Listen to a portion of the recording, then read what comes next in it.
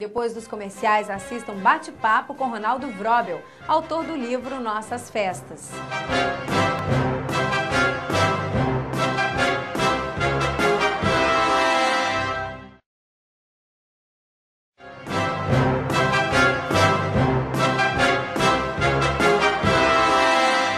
A obra Nossas Festas é o primeiro livro moderno e ricamente ilustrado sobre as festas judaicas para o público infanto-juvenil. Nele é mostrado o que as celebrações judaicas significam, como e quando surgiram. Assista agora um bate-papo com Ronaldo Vrobel, autor do livro.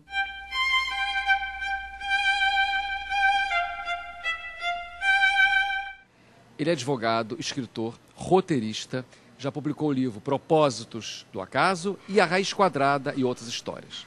E agora está nos trazendo um livro importantíssimo, Nossas Festas, Celebrações Judaicas.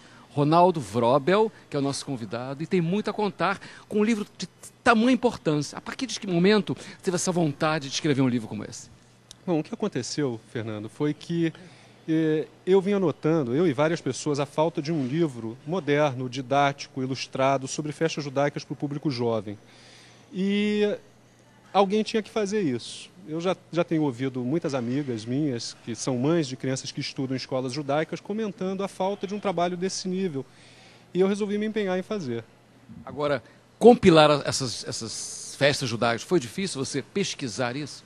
Eu tive aulas com a professora Débora Radari, consultei rabinos intelectuais, eh, acervos eh, de universidades, de bibliotecas de todos os tipos foi, foi bastante trabalhoso, sobretudo porque existe um material muito vasto e você tem que fazer uma seleção do que colocar num livro desses.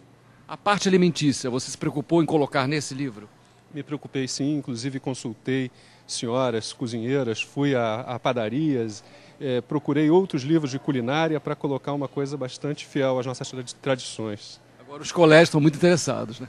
Olha, eu, eu, levei o livro aos colégios, todos ficaram bastante satisfeitos, eles estão agora avaliando o conteúdo didático para eventual adoção. É, o fato é que eu, para fazer esse livro, consultei o material didático oferecido pelos colégios, eu tive um cuidado muito grande em fazer um trabalho que fosse compatível com o que as escolas ensinam. Você estudou em escola judaica? Estudei, estudei no Max Nordal. E como é que era na época? Como é que vocês aprendiam, né? Porque eu sei como era no Colégio Lessa e, e no Max Nordal. Era, era uma coisa muito artesanal e muito divertida. Né? Na verdade, uh, nós tínhamos folhas de papel mimeografado com ilustrações e os professores. Eu lembro que a gente fazia vinho, uh, nós muitas vezes fazíamos as receitas na própria escola. Era uma coisa assim bastante divertida e que, de certa forma, se entranhou nas nossas vidas. Né? Eu digo a você que com quase 40 anos de idade, eu lembro exatamente das aulas, das canções, do sentido das festas. É muito difícil esquecer. Você vem de um romance, de um livro didático e passa para um livro de, dessa importância para a comunidade judaica. Agora, você teve esse trampolim todo para chegar aí, né? Que eu acho muito louvor isso, né? Você se embreou muito, se fechou muito, estudou. Você já contou que foi teve aulas, mas foi, foi mais difícil isso? Olha, a matéria religiosa, Fernando, é uma coisa muito delicada. Você tem que fazer uma pesquisa muito apurada e uma seleção daquilo que você vai colocar. Porque muitas vezes, uma matéria, por mais interessante que ela seja, ela é condizente com uma corrente judaica e não com outra. E eu tive a preocupação de fazer um livro que atenda ao maior número de pessoas possível, sem excluir entendimentos.